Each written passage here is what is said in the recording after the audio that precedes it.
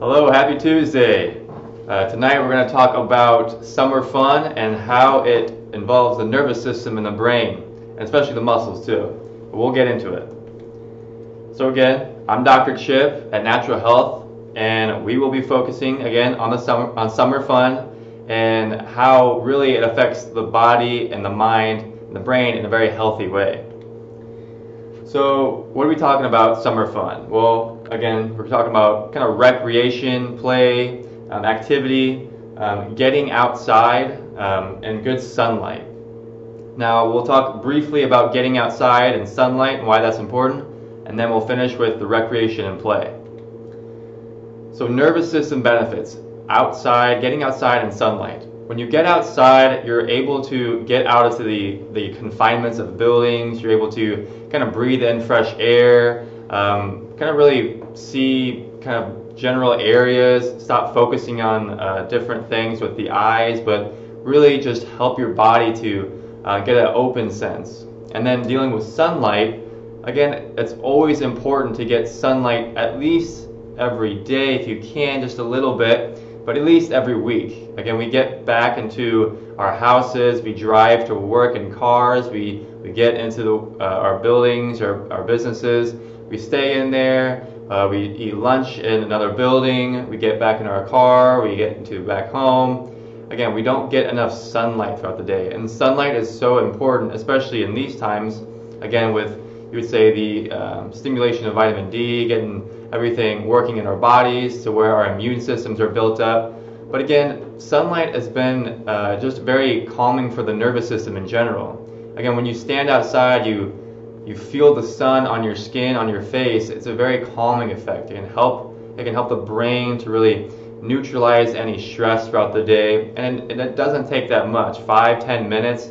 You can go out for a little walk outside when you're kind of um, on a lunch break or uh, maybe even a break throughout your work. Um, but it's always good to find a little time throughout our busy lives to get some kind of um, enjoyment of the sunlight or uh, getting outside in general. Again, when we overstress our brains and our nervous systems, our bodies, that's what leads to chronic stress, which will lead to further illnesses. But when we allow ourselves even small breaks throughout the day, five, ten minutes, getting that efficient uh, time outside. Um, and it can be just something simple, walking in your backyard or anything. But getting that sunlight, that, again, it's going to help help really to uh, not only really help the nervous system to calm, help the brain to calm down and relax, but it's it's good for your skin in general. I think we've been uh, thinking that sunlight is bad, but sunlight has always been good. It's been we've been in sunlight for years and years, centuries, millennia. Um, but again, a lot or too much of one thing is always bad. Again, you could drink too much water, and that could be bad for you. But some people are better with sunlight than others. But again, just know know your body and know how you uh, adapt and react to sunlight. But it's always good to get some, a little, at least a little bit, or some uh, throughout the day or throughout the week. So nervous system benefits and how it kind of relates to the muscles of our body. Now, when we um, do different activities such as um, working or uh, business, kind of construction, even working out, exercises, we, we tend to focus a lot on exercise. We focus on uh, we have to do this a certain way, or we um, have to work this certain muscle, or um, we have to do the job uh, a, a certain way. We're, we're doing the same thing over days and weeks and months. But when we do something that's fun, something that we don't need or necessarily have to do, but we want to do, it really helps our muscles be activated in different ways that's very good for our bodies. It actually helps our bodies to be able to adapt to different other stress throughout our lives. So, uh, little examples of what can be fun um, and can help us help our muscles and our bodies to move is different sports. Um, it could be you know tennis. It could be any other recreation. It could be bowling, for example. Um, could be um, a lot of different things. Croquet, if you want, if that's your that's your gig. But um, just try to think of some fun things that you can do. Um, it could be outside, inside, um, but something that really helps the muscles interact in a way that's not so uh, business or exercise like. again, that's why these things are so nice is that if we like to do it, if we enjoy doing it, we have a different mindset about it. Our intention is different. It's not that, oh, I got to drag myself to do this certain task. Um, that can be kind of um, not very good for your body in general. It kind of it can kind of feel like work. It can kind of feel like a job, unless you love your job, and that's what you. That's always great. Um, but doing something different outside of what you normally do throughout the week um, can really help the body and the muscles to be activated in a different way.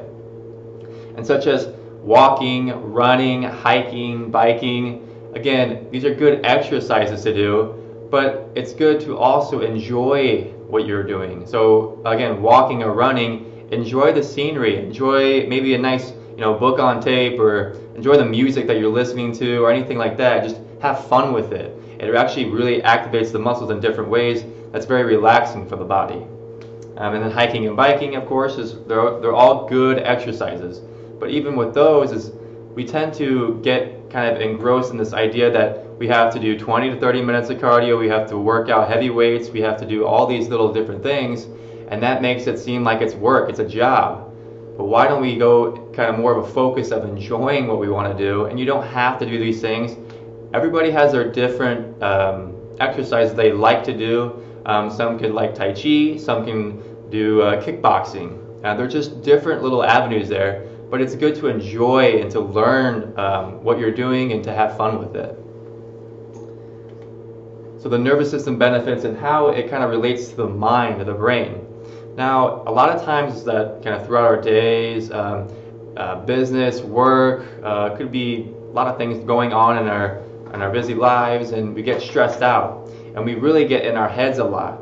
And so, if you think about kind of the the different um, kind of things in in social life, like um, am I saying the right things to people? Am I am I going to offend any people? Or did I say the right thing on Facebook? Or um, how how my how is my business doing?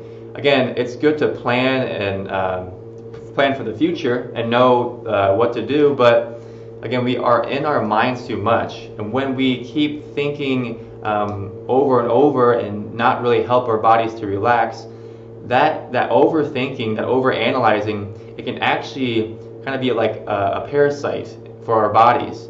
It can actually rob our energy away from us, then um, deplete the energy. So again, we go back into that chronic illness. Again, when we have high energy, we're able to kind of block out any um, illnesses or, or viruses, uh, bacteria, any of those different things, and we're able to have good energy throughout the day.